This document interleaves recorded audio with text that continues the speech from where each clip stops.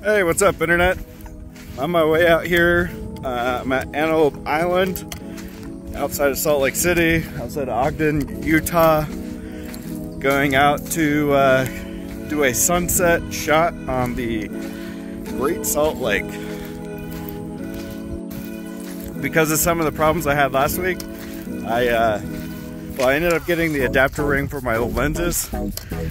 So I've got my trusty old uh, setup here on the new camera. And uh, I know that I can focus that lens. Um, I'm sure I just gotta go into the settings and adjust the focus on the, uh, the lens that came with the camera, but I just don't know how to do it yet.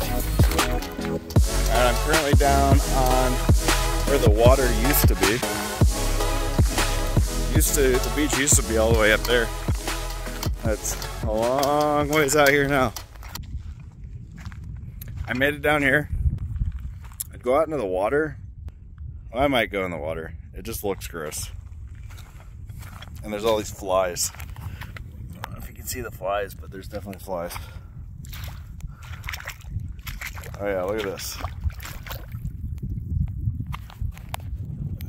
This here's my setup right now.